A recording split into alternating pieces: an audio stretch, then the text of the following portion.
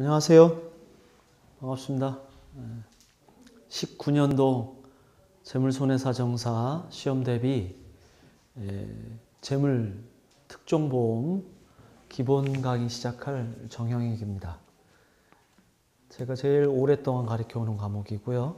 음, 거의 국내 유일한 교재이죠. 어, 기본 강의 수업을 어, 재물손해사정 업무를 안 하고 계신 분들의 눈높이에서 시작을 합니다. 그래서 약간의 보험 지식은 그래도 조금은 필요해요. 뭐 계약자가 누구다, 피보험자가 누구다 이런 설명은 안 합니다. 1차 시험을 통과한 정도의 보험 지식을 갖고 계신 분이 아, 보험에 진짜 보험다운 보험이죠. 예.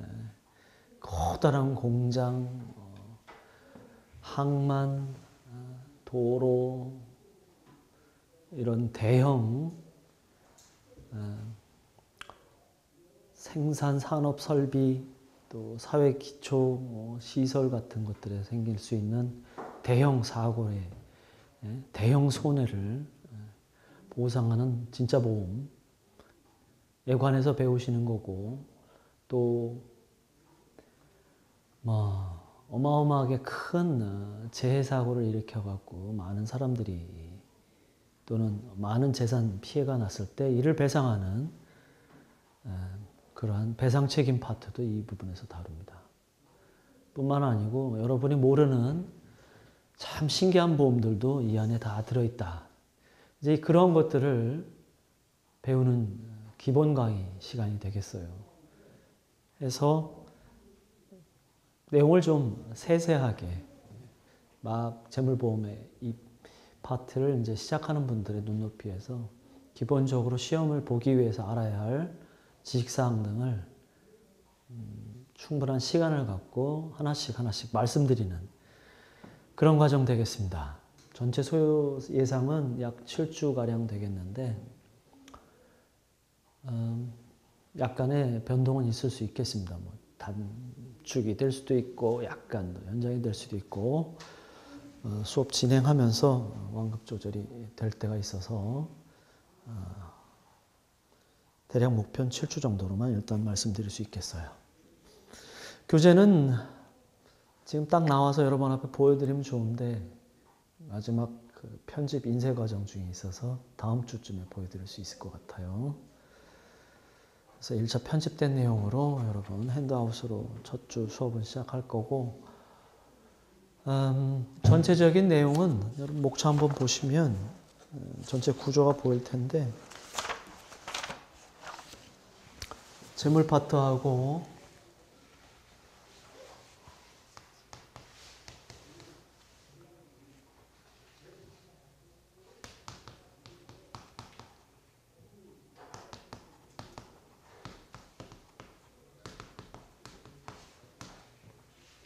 이거의 그 편제 내용대로 첫 번째 재물의 총론을 써놨고요.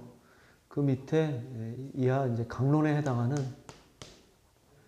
보험, 상품별 주요 재물보험의 내용을 다루고 있어요. 총론에서는 이 아래에 있는 모든 재물보험에 공통되는 내용 등을 먼저 언급을 해요. 그래서 약간의 입문 내용이 되겠고 이하 강론에서는 시험과 실무 위주로 뭐 화재보험, 그다음에 패키지 등등등 기술보험식으로 쭉 나가게 되고요. 특정도 같은 포맷으로 특정하면 우리가 가장 기본은 배상 책임으로 생각하시면 되겠죠. 어, 여기 배상 책임 총론을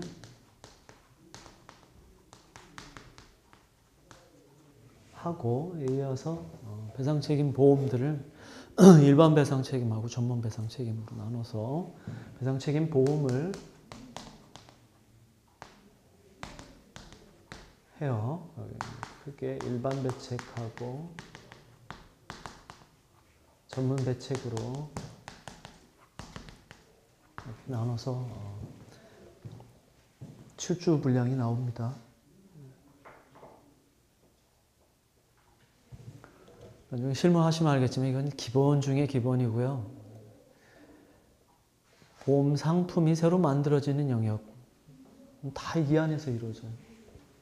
특히나 특종, 배책 쪽 상품이 날로 늘어나고 있고요.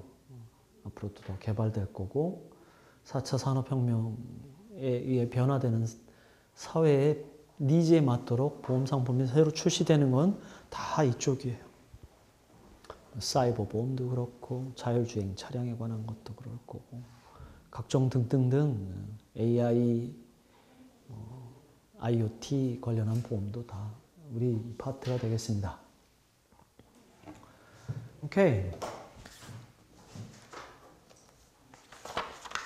목차 한 번씩 먼저 보시는 목차는 건너뛰기 쉬운데 목차 한 번씩 봐서 전체 내용을 한번 그려보시기 바래요.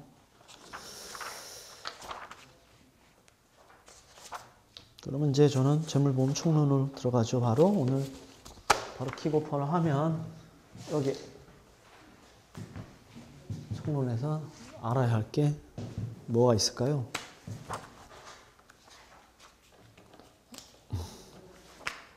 우선 알아야 할 게 보험가액 평가 기준 얘기를 좀 할 거예요.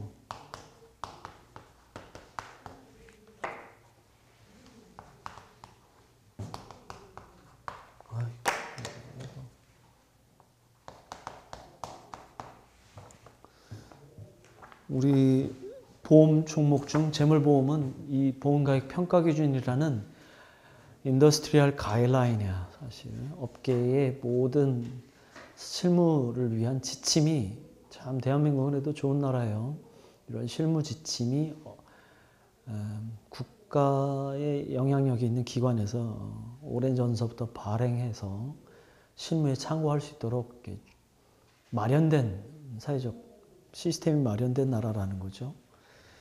그래서 보험 아, 실무자를 위해서 손해보험협회에서 수십 년 전부터 이 모든 재물보험에 있어서 보험가액은 어떻게 평가하고 또 손해액은 어떤, 어떤 식으로 산정하고 하는 거에 대한 업무 지침을 책자로 만들어낸 게 이 보험가액 평가 기준이에요.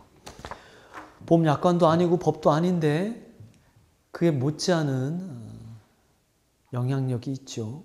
일종의 상관습화 되어 있다고 할 수가 있겠어요. 시험도 이 파트에서 많이 나옵니다. 다음 시간에 한번 가서 실물을 갖고 와서 보여드릴게요. 이 내용 공부하고 다음에 보험금을 이제 산출하는 방법 등을 우리가 여기서 할 거예요. 기초 지식들이라고 할 수 있는 뭐 계산식서부터 공동보험 얘기 또뭐 있어요. 그 보험 가입 금액 안분하는 얘기 이런 것들 얘기해서 하면 되겠습니다. 그 다음에 중복보험 안분하는 얘기 이 보험가입 평가 기준에서 아니 이 총론 파트에서 제가 쭉 다루게 됩니다. 기초 중에 기초고 다 공통이겠죠? 그러면 다시 교재로 돌아왔을 때 재물보험 총론 파트 재물보험이란 모든 유체재화를 보험 목적물로 하여 해당 목적물이 보험사고로 인해 입은 경제적 손실을 보상해 준 여러 보험계약을 통칭해서 부르는 실무 용어다. 됐어요. 넘기십시오.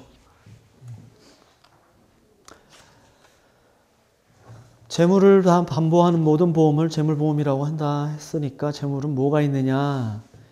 세상에 존재하는 모든 부동산, 부동산이 다 재물이죠. 물론 우리 실무에서는 무형재물인 유체재산권도, 무체재산권도 참 어, 우리 보험 목적물로 하고는 있어요. 시험이 아직 거기까지는 안 나오고 있고, 음, 하여튼 유형 재물을 다 보험 목적물로 하는데 일부 재물인 자동차라든가 항공기 선박은 별정 보험이 있기 때문에 거기서 다루게 됩니다. 그래서 빠지는 걸로 하고 이어 그 재물보험 목적물의 하단에 보면 보험가액 및 손해액 평가 기준이라는 게 나오죠.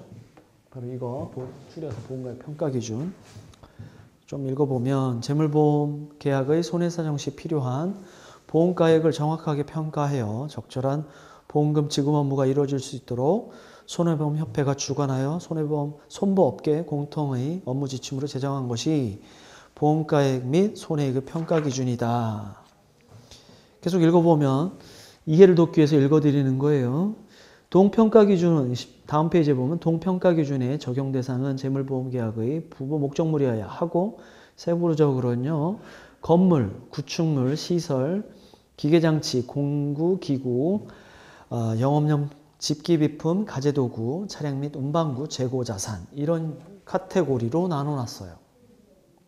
그래서 모든 유형 지구상에 존재하는 유형 재물은 다 이 카테고리 안으로 여러분이 분류해 넣게 됩니다. 그러면 이 카테고리 안에 들어가면 뭔 차이가 있느냐? 공통적인 것도 많지만 뭐 대체적으로 다른 게 수명이 달라요. 물론 종류와 쓰임새가 다르니까 수명이 다르겠죠. 제일 중요한 기초 지식이 될 만한 건 당연히 건물이어야 되겠고 건물의 시 가격 평가는 어떻게 하는지가 어떻게 공통 시발점이 되겠고요. 가장 별종 재물은 재고 자산이에요. 원재료, 상품 뭐 이런 것들은 앞서 좀 나열되어 있는 여러 어떤 목적물하고 아주 그 평가 내용이라든가 어프로치 개념 자체가 완전히 다른 별종 목적물이 되겠습니다. 건물부터 볼까요? 가액평가의 기초가 된다고 할 수 있는 건물에 대해서 좀 이해해 보겠습니다. 건물. 여기 우리가 지금 공부하고 있는데도 건물이죠. 토지에 정착하는 종작물 중 지붕과 기둥 또는 지붕과 벽에 있는 중요해요. 지붕하고 기, 기둥이 있어야 돼요. 그리고 벽이 있어야 되겠어요. 이러한 이러한 구축물, 이러한 지상 어, 재물을 우리가 건물이라고 하는데 용도도 중요해요. 주거, 집회, 오락, 저장 등의 용도가 그것이 이제 건물이라고 할 수 있겠습니다. 건물은 하나하나 별개의 개념으로 목적물이 될 수가 있어요. 건물을 갖고 있는 것만을 보험 목적으로 하는 대표적인 보험이 화재 보험이 되겠어요. 건물의 범위와 관련한 내용이 조금 약술 형태로 좀 보이죠? 읽어만 보시기로 하고 좋아요. 그래서 건물 볼까요?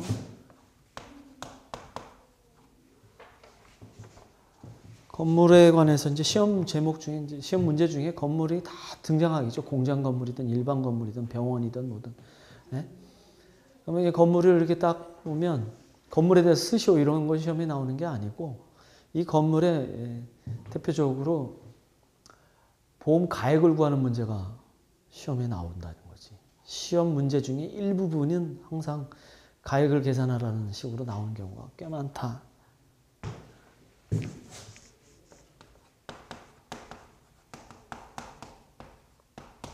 이걸 꼭 알아야 할 지식이 되겠죠? 음. 그럼 어떻게 구하느냐? 이게 이제 앞으로 모든 이제 재물의 공통된 보험가액 산정 방법이 될 거예요. 가액 산정 방법은 음.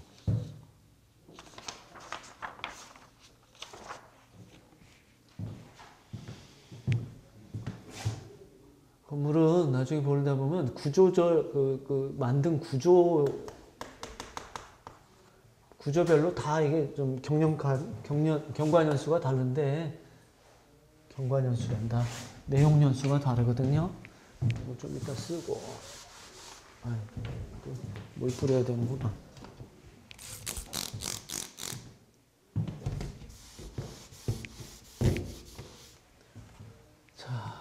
보험, 건물의 보험가액이라고 했는데 이걸 어떻게 어프로치 하느냐 보험가액을 모르시는 분들은 이제 손사이론 같은 데 사실 복습 좀 하셔야 되는데 여기 우리가 그냥 일반적으로 말하는 보험가액 보험가액 하면 시가를 말해요 그러니까 실제 현금 가치라고 해서 우리가 일식집 같은 데 가면 시가 써놓은 거 있죠? 그 시가는 아니고 사고 당시에 실제 가치는 얼마냐 이런 얘기예요. 그러다 보니까 일정하게 처음 샀을 때보다는 이게, 이게 써서 어, 사용해서 다뤘다 이럴 수가 있겠죠. 시간의 경과와 사용에 의해서. 그래서 그만큼 사라진 가치가 있는 거예요. 사라진 가치는 뺀 애누리 없이 그런 걸 뺀 나머지 남아 있는 현재의 가치 이걸 말하는 건데 건물의 보험 가액은 그러니까 제조달 가액을 일단은 알아야 돼요. 그래서 감가액 이 사라진 가치를 빼준 걸 말하는데 그렇다면 감가액도 알아야겠죠. 이거는 새로 사는 가격이니까 어, 신품 가액이 얼마인지는 가서 사보면 알아요. 예. 또는 건물 같은 건 새로 짓는 단가를 계산해 보면 알겠죠? 이게 이제 새로 짓는 단가 건물인 경우니까 그건 어떻게 알아야 되겠어요? 이건 놀라운 이제 적산 프로그램을 돌리던지 예, 아니면 이제 한국 감정원에서 어, 건물 구조별로 평방 제곱미터당 생산 단가가 있거든요. 아, 소요 단가가 거기다가 전체 연 면적을 곱하는 방식으로 해서 구할 수가 있어요. 최소할 가액은. 근데 시험 문제에서 이건 아마 그냥 직접 값을 주지요. 예, 값은 줘요. 그래서 여러분 직접 구할 필요는 없고 강가액은 다시 제주도 가액.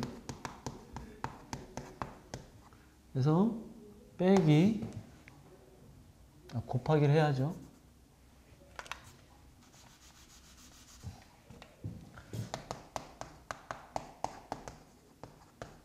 그러니까 유를 해서 구할 텐데 그럼 감가율은 뭐냐? 이거는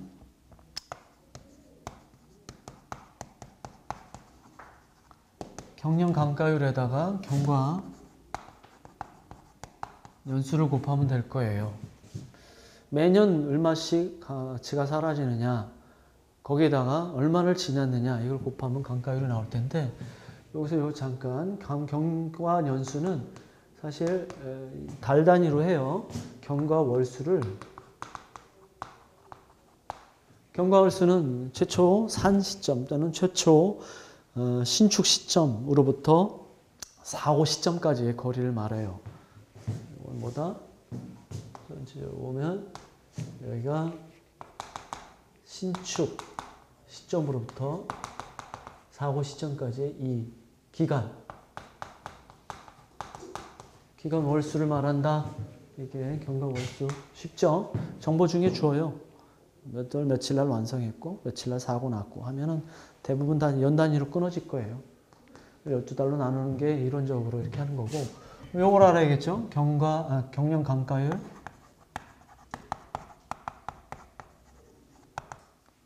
경량 감가율은 여기 내용 연수가 있어요. 한마디로 수명이에요. 이 수명은 건물의 구조별에 따라서 좀 달라요.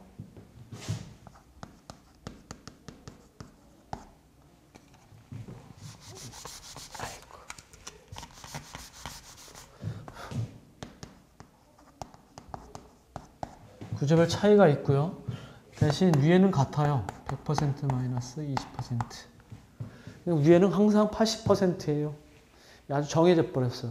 옛날에는 이게 10%인 적도 있었는데 목적물마다 달랐었는데 음, 2000년 초반에 하나로 20%로 다 통일해 버렸어요. 그럼 위의 값은 항상 80이라고 한다면 밑에가 달라져서 구조별로 또 목적물별로 경영 강가율이 달라지는 거예요. 건물 철골조 같은 게 70년인가 그렇고요. 뭐 짧은 게 기억이 충분치 않은데 아마 40년, 30년 이래요. 목적 건물 이런 것들. 그다음에 가재도구는 보통 한 12년, 15년, 뭐 10년 이런데 어, 영업용 직기비품 같은 경우는 5년, 7년, 5년, 8년 막 이래요. 그러니까 여기가 80년이면 1년에 1%씩 사라지는 거죠. 내용 연수가 80년이면 위에는 어차피 80%니까 연에 1%. 근데 내용 연수가 8년이면 어떻게 되겠어요? 연 10%씩 가치가 사라지는 거예요. 10% 곱하기 해당 연수. 다 나왔죠? 이렇게 하면? 그러면 이렇게 계산하면 감가액이 나올 거예요. 그래서 실제 계산 문제 자료에 책에 있는 거 볼까요?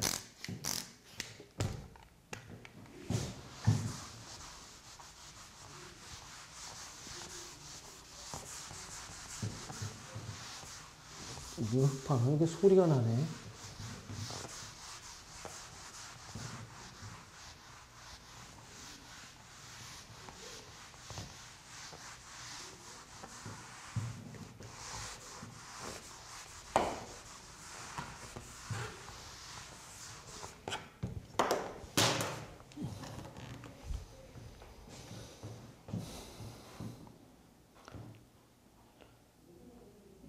여기 지금 자료 우리 책에 있는 경영 강가율 계산 연습해서 박스 안에 있는 걸 보시면 신축가액이 12억 5천만 원, 내용 연수 35년, 최종 장가율이 30%. 이제 실무하고 달리 문제를 위해서 그렇게 준 거란 말이에요. 를 통해서 경영 강가율을 구해 보겠습니다. 이걸 구해 보면 음, 총 강가액까지 구할 수가 있는데요. 10년 총 강가액을 구하라. 경- 경과년수 10년일 때총 강가액을 구하라. 그랬으니까 강가액은 아.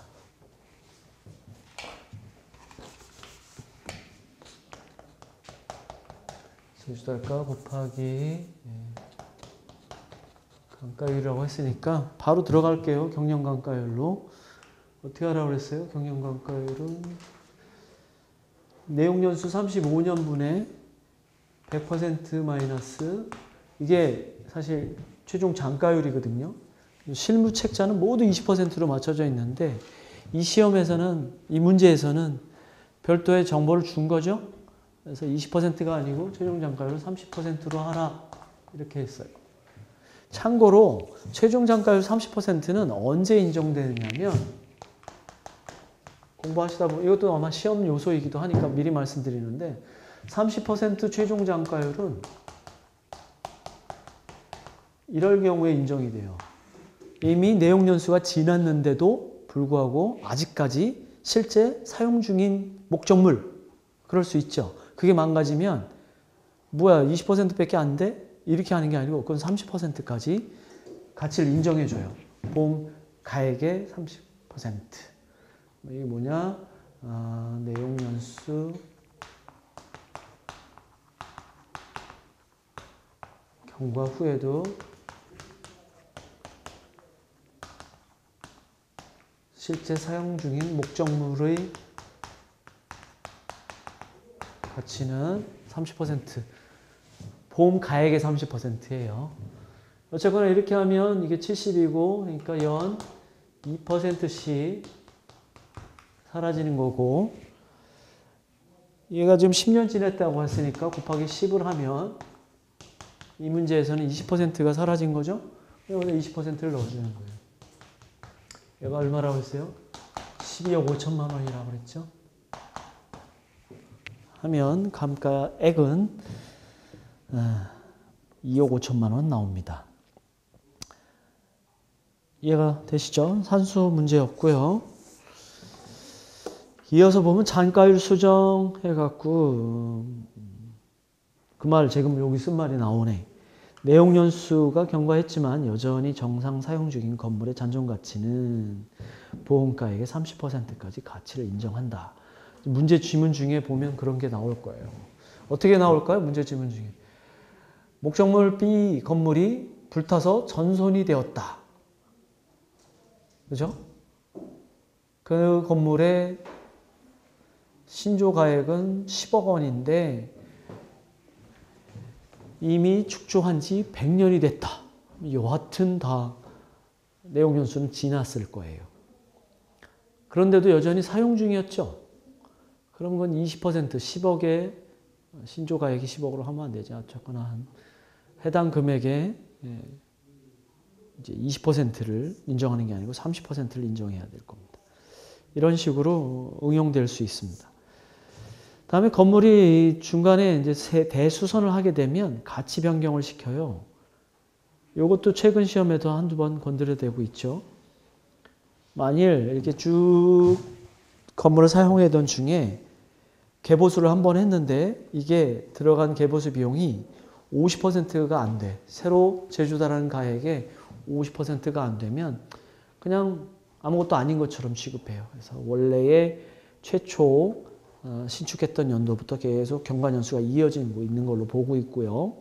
만일 50에서 80%에 해당하는 비용을 들여서 크게 수리를 하게 되면 요거는 좀 최초 시점으로부터 대수선하는 시점까지 기간과 그 대수선 이후 사고 시점의 기간을 합산 평균을 해요. 해갖고 어 그러면 이제 경과년수가 짧아지는 효과가 있을 거예요. 그렇게 해서 처리하는 거예요. 이건 실제 계산 문제를 다뤄보면 이해하기 쉽고요. 일단 지식으로 일단 봐두시라고요. 그 다음에 80% 이상을 수리하게 되면 이건 그때부터 새로 지은 걸로 봅니다. 근데 이거 하나 외우는 게 이 이후에 모든 목적물에 거의 똑같은 내용이 계속 반복적으로 나올 거예요. 그래서 이게 되게 한 번 외우면 여러 가지 활용도가 있습니다. 그래서 50, 그다음에 50에서 80%, 80% 이상. 약간 우리 사회적인 어떤 느낌하고도 일치하죠. 이어서 평가시 고려 사항이라고 해서 이제 각 목적물마다 독특한 내용 등이 하나씩 나올 건데, 여기 건물에는 문화재인 경우에는 감가 생각을 하지 않는다는 내용, 또 복합 구조 건물이 있어요. 어느 건물은 아래층과 위층, 뭐 상가 부분하고 위에 그 부분하고 어떤 서로의 그 구조가 뭐 철골 밑에는 콩, 철근 콘크리트인데 위에는 철골조라든가 뭐 이런 식으로 서로 구조가 다른 건물들이 하나로 합쳐졌을 때 그것의 그 감가액은 어떻게 구하느냐 딱 시험이 한 번 나온 적이 있는데 지금 어 20페이지 상단에 있는 그 계산 예시표 요걸 가령 활용해 갖고 한번 시험이 나온 적은 있어요. 이거에 그 지금 풀지는 않겠는데 여러분 약간의 이제 수학적인 사고, 방식을 좀 동원해야 되거든요. 전체 면적을 한번 생각해 보는 거예요. 그 건물의 전체의 면적을 생각해 보고 그 각그 구조별 구조가 차이 난다고 그랬죠. 구조별 해당 면적의 비율하고 그 해당 그 구조별 경영 감가를 별도로 매겼을 때의 비율을 서로 합쳐 갖고요. 비례식으로 만들어내는 그런 계산 방법이에요. 딱 한 번 나오고 나서 엄청난 비난을 받아갖고 다시는 안 나올 것 같은 문제이기도 하긴 해요. 여러분 각자 그냥 스타디로 넘길까 합니다. 비중이 이렇게 높지 않기 때문에 계산 자체는 어렵지 않아요. 전체에 대한 그 비례식으로 구조별 감가율을 평균 내버리는 방식입니다. 그보다 더 중요한 거는 그 3번 항목이에요. 수리비 감가라는 건데 너무너무너무 중요해요.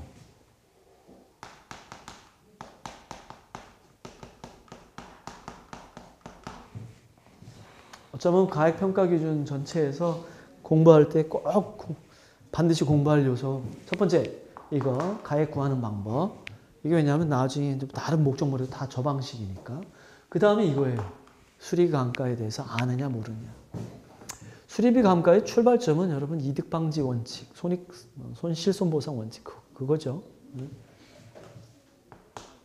어, 왜 감가를 하느냐? 뭐냐 하면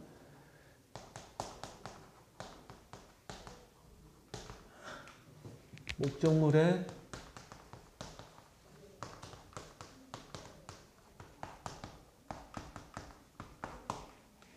목적물의 전체 가치가 증가한다는 말은 지금 무슨 이런 거죠. 내용 연수가 증가한다. 더 새 거가 되는 거죠. 고치고 나서. 그거에 대한, 에 대한, 그죠? 이득을 어, 배제하기 위한 겁니다. 이게 다분히 실손보상인 거예요.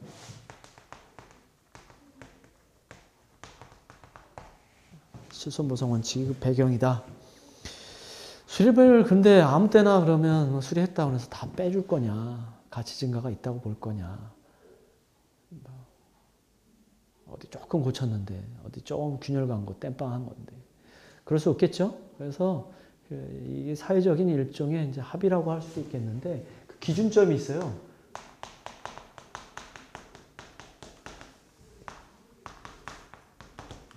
그게 뭐냐면 보험 가액의 20% 이상이냐 아니냐라는 거예요. 수리비가 비교를 하는 거예요. 오케이? 20% 이상 되면 아 가치 증가 있겠다 아, 이렇게 판단하는 겁니다. 여러분의 어떤 사회적인 감각하고 맞는지 모르겠어요. 그래서 두 가지 볼까요? 어, 만일 20% 이하면 어떻게 돼요?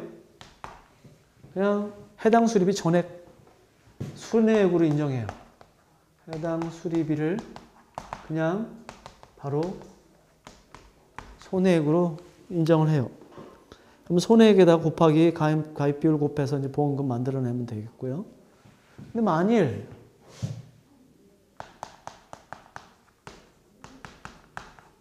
이상이 아니고 초과하면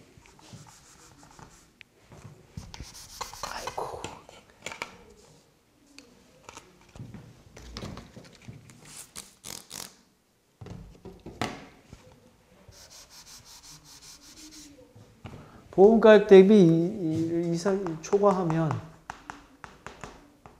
어떻게 하느냐? 공간이 좁네. 음, 다 쓰기 좁다. 이쪽으로 좀 끌어당겨서 쓸게요.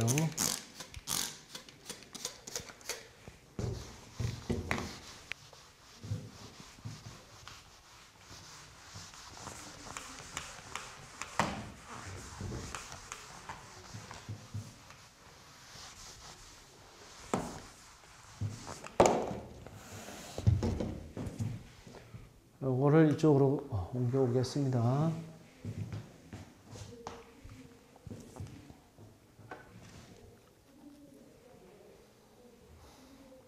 강가율을 곱해줘야지. 뭐. 처음에 할 게 해당 수리비에다가 곱하기 1 마이너스 감가율을 해줘. 감가율 빼는 거죠. 그래서 나온 금액이 있을 거예요.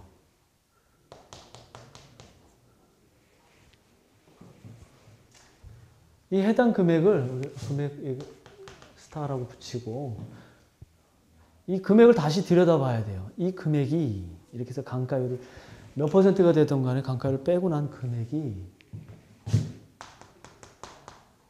금액 스타와 뭘 비교하냐면 보험가액의 20% 금액과 비교를 또 해요. 오케이? 해서 나왔을 때 만일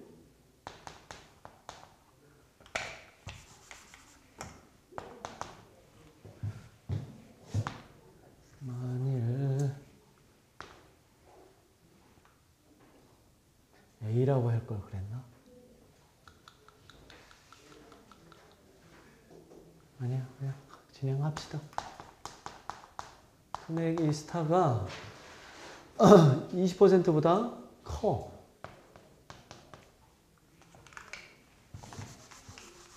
아, A, B라고 정리하는 게 나을 것 같은데. 에이씨. 요 금액, 요 스타를 우리가 A라고 하겠고, 요 보험가액 20%를 B라고 하겠습니다. 만일 A가 B보다 크다면, 아, 스타리 크네, 고마 그러면 그냥 그대로 A 금액을 그죠? 인정손해액으로 해서 보험금을 계산해요. 근데 만일 A가 B보다 작다. 보험가액 금액 20%보다 강가하고 났더니 확 줄었다. 수리비가 확 줄었다. 하면 B를 인정손해액으로 합니다.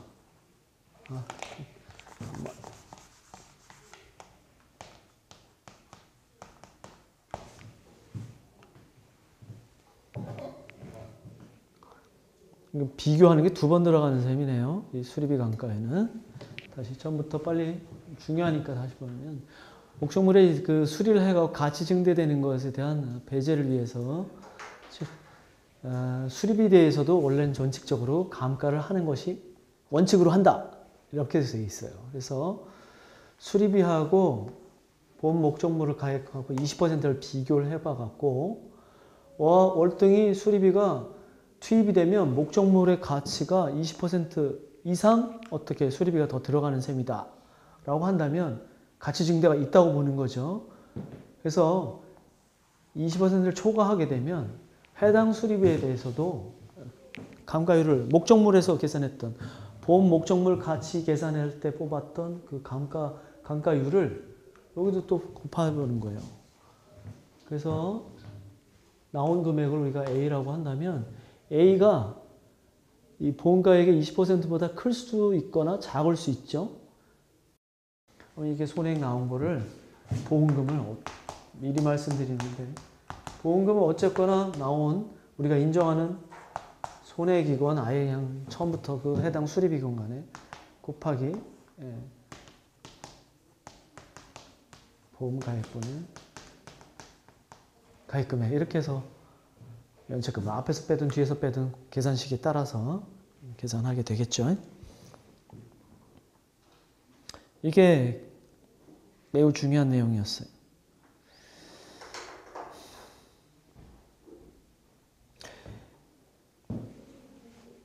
이제 계산 문제가 뒤에 나오는데 거기서 더 다뤄보면 이제 더 이제 뭐- 뭐랄까 확실해지게 될 겁니다. 철거 건물에 대한 평가, 모델 하우스 이건 다 약술감으로 과거에 나왔었던 거여서 해당 내용 한 번씩 읽어보시기 바라고요.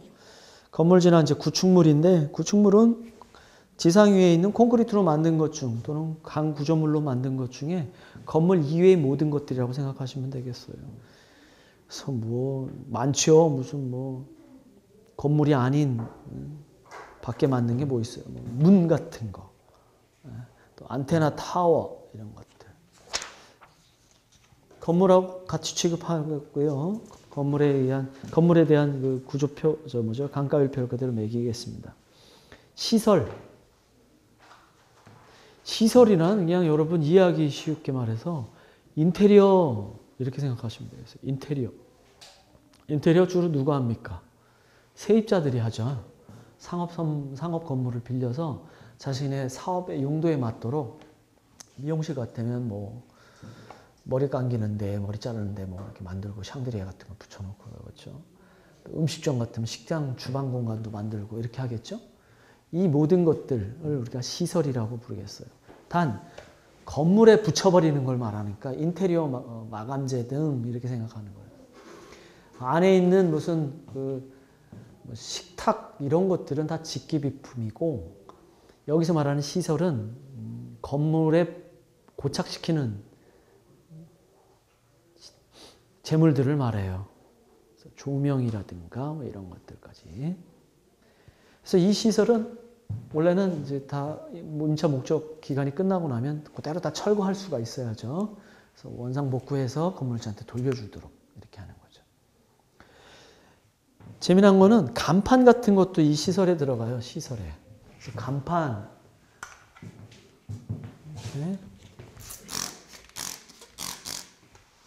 뭐 시험에 나왔던 얘기니까 이게 하면서 가는데 도움이 되겠죠?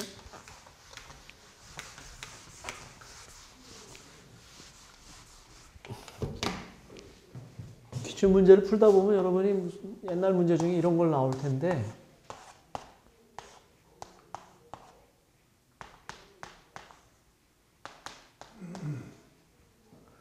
여기가 임차한 곳이에요. 여기는 이제 건물주가 임대인이 사무실이고 여기는 여기 상점이에요. 둘다 건판을 붙였어. 오케이? 불이 여기서 이렇게 났다. 그래서 얘도 망가지고 얘도 망가졌어. 근데 이 간판은 시설이에요. 임차인이 빌려서 건물에 고착시킨 거니까. 얘는 시설. 이 시설의 피보미 이익은 누가 갖고 있어요? 임차인. 오케이? 근데 임차인이 자기를 위해서 보험을 들었느냐 안 들었느냐 중요하겠지. 자기를 위해서 화재보험을 안 들고 건물주를 위해서 화재보험을 들었다. 하면 얘는 보상이 될까 안 될까요? 안 되는 거야. 얘는 보험 안 든 거니까. 하지만 이 임차인 건물에 임차인이 붙, 아, 임대인 말 건물주 건물주가 자기 건물에서 자기가 사업하기 위해서 붙인 이 간판은 뭐냐? 건물의 부착물이에요. 건물의 일부예요. 부착물이고 이거는 당연히 건물의 일부야. 오케이? 그래서 같은 간판이라도 시설인 경우에는 피보험자가 반드시 임차인인 거고 건물주가 자기 건물에 붙인 거는 건물의 일부가 되기 때문에 뭐예요? 임대인을 위한 화재보험을 들었으면 그게 보상이 되는 거야. 그래서 시험에서 그런 걸 또 물어본 적이 있어요. 비슷한 게 뭐가 있을까? 안테나 타워 같은 것도 그렇겠죠. 그래서 시설 파트에서 중요한 거는 이게 꼭 임차인의 피보험 이익이 있는 목적물이다. 이게 되게 중요하겠어요. 나머지 내용은 건물에서 봤던 거하고 굉장히 닮아 있습니다. 강가일표는 별도로 다루 어, 건물하고 달리 좀 내용 연수가 짧게 만들어져 있고 그래서 강가율 적용 보면 일반 시설은 뭐 해당 적용한다 써 있고 유흥 음식점은 추정 내용 연수 8년 이렇게 돼 있죠. 그러니까 경영 강가율이 당연히 80%를 8년으로 나오는 거니까 10년 10%씩 되겠죠. 수리비 강가의 내용도 건물하고 같고 유의사항 시설은 반드시 임차인이 설치한 것이어야 한다. 같은 간판이라도 임차인이 설치한 것만 시설에 해당하지 건물주가 설치한 것은 건물의 일부가 되는 차이가 있다. 말씀드리는 거였고 개보수와 관련해서 50, 80, 50, 80 이거 나오는 건 건물하고 같죠? 이런 걸로 이제 간단하게 응용해서 시험 계산 문제가 나오는 거예요. 기계장치. 기계가 뭐냐, 장치가 뭐냐 정도는 여러분 한번 외워둘 만한 내용 되겠어요. 기계란 물리량을 변형하거나 전달하는 인간에게 유용한 장치. 이걸 기계라고 하고요. 종류가 이렇게 나눠지는 건 중요하지 않고. 장치는 뭐다? 연소장치, 냉동장치, 전해장치 등 기계의 효용을 이용하여 물리적, 화학적 효과를 발생시키는 구조물을 장치라고 합니다. 이 두 가지를 하나로 카테고리를 묶어서 내용 연수를 동일하게 매기고 있어요. 여기 이제 목적물의 2번 목적물의 범위에서 설치 비용과 운임은 제조달가액에 포함된다. 이거 슬쩍 읽고 갔지만 정보 시험 문제 정보 중에 이렇게 쪼개서 놓으면 제조달가액 계산할 때 다 포함시켜야 되는 거예요. 그래서 A를 샀을 때 그 상업 그 영수증 가격이 있을 거고 그것을 나의 공장까지 운반해 오는 데 들어가는 비용과 보험료가 있다면 얘들이 다 제조달 가액 안에 포함돼야 되는 거예요. 아셨죠? 네. 아직 그까지 문제를 이렇게 쪼개서 나온 적은 없지만 우리가 알고 있을 필요가 있다. 또 문제가 되는 건 동력 배선, 저장품, 소모품, 촉매, 냉매, 열매 이런 것들인데 동력 배선, 저장품, 소모품은 그닥 중요한 게 아니고 중요한 건 촉매예요. 촉매. 내 책에도 촉매에 관해서 집중적으로 언급해 놓은 게 있는데 언젠가 또 시험이 집중 건드려 드릴 거로 생각해요.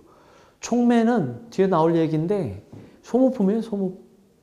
얘들이 이제 기계장치의 일부로 봐서 어, 사용되는 건데 얘들이 워낙 소모성이 강하다 보니까 기본적으로 기계보험에 들어가는 목적물에는 소모성이 강한 것들은 보험 목적물에서 아예 빼버려요. 그래서 무슨 뭐, 뭐 있어요. 그라인더나 무슨 톱, 체인, 벨트 이런 자동차 타이어 같이 자꾸 달아 없어지는 거는 목적물에서 아예 빼버리는데 이 촉매도 빼요, 원래는. 근데 워낙 비싸서 이 백금이라서 별도 목적물을 들어요. 별도의 가입 금액을 설정해야만 물어주는 게 대표적으로 이 촉매라는 거. 이참에 봐주시고. 가액 평가 방법이 음, 어, 기계장치류의 가액 평가 방법에 중요한 원칙이 하나 있는데 이 제조할 평가 방법은 원칙적으로 해당 기종의 용도, 제조자 생산 능력 등을 확인하고 가장 유사한 기계 장치를 예, 실거래가를 파악하는 방법으로 평가한다. 기계 장치의 에, 목, 보험 목적 가액은 해당 기계 장치의 실거래가로 하되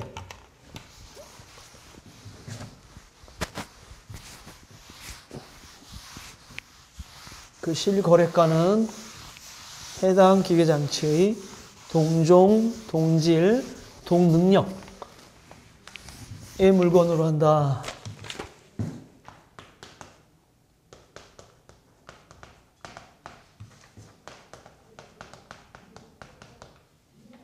방법이 여러 가지가 있는데, 아, 여러 가지 시가는 거의 기계장치.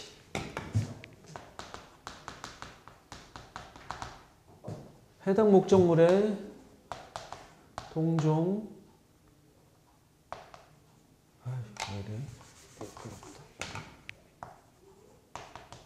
동질. 동능력의 유사품. 유사품이라서 나쁜 물건이 아니고 똑같은 게 없을 수 있으니까. 그래서 거래가를 파악해서 하는 방법이 있고요.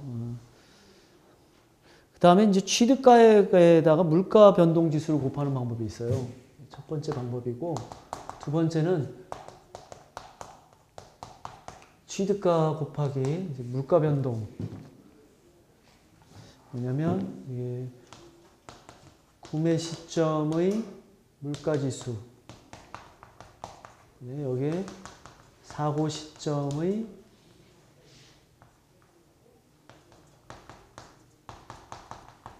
이게 실무에서는 더 많이 쓰죠.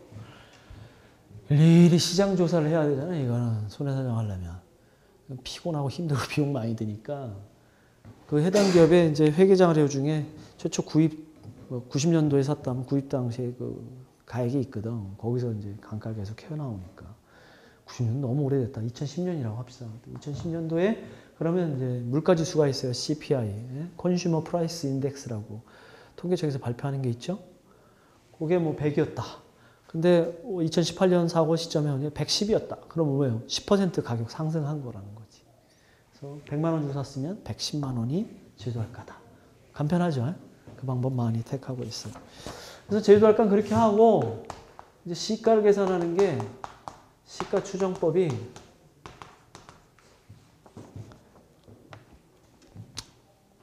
여기는 이제 일반적인 그 복성 방법만 써놨는데 그래도 뭐 우리가 늘 하듯이